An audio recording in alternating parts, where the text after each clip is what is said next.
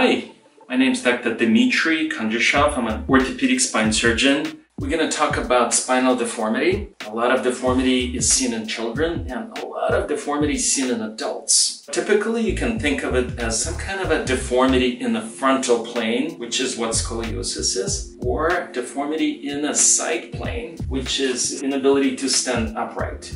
So a person would be bending forward. Of course, you can have a combination of falling off to the side and falling forward. In kids, it doesn't have to be painful. In adults, it tends to be a lot more painful. So why operate on kids with a deformity? Well, the main reason is the magnitude, the degree of the curve, and the progression. So if you intervene earlier in a child, then you may avoid progression down the line. And why operate it in adults? So in adults, most common indication for operating uh, for deformed spine would be pain.